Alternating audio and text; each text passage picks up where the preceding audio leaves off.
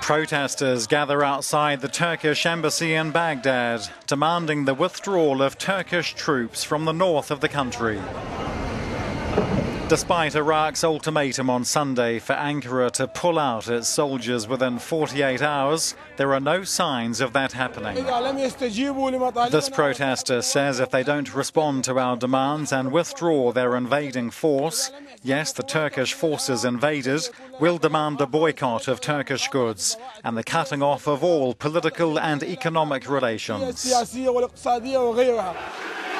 Turkey maintains it sent the troops to a Kurdish controlled area with Baghdad's full knowledge as part of efforts to fight ISIL militants. It says it's halted the deployment but will not pull out the troops already there. The Prime Minister says, as the local Kurdish leader said, these Peshmerga trained by Turkish soldiers contributed to the recapturing of Sinjar. These Kurdish, Turkmen, and Arabic fighters have been trained by our soldiers.